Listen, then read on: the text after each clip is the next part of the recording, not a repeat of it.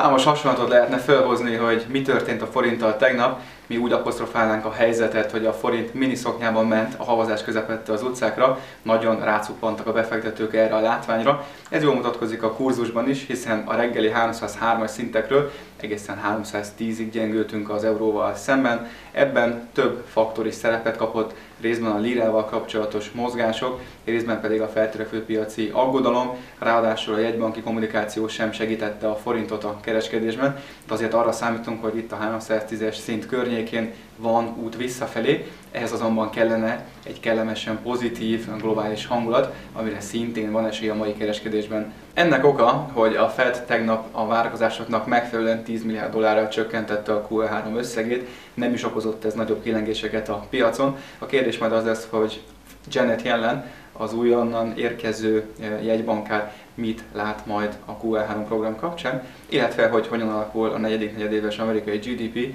erre délután fél háromkor kapunk választ. Ez a két dolog az, ami erőt adhat ma délután a bőrzéknek.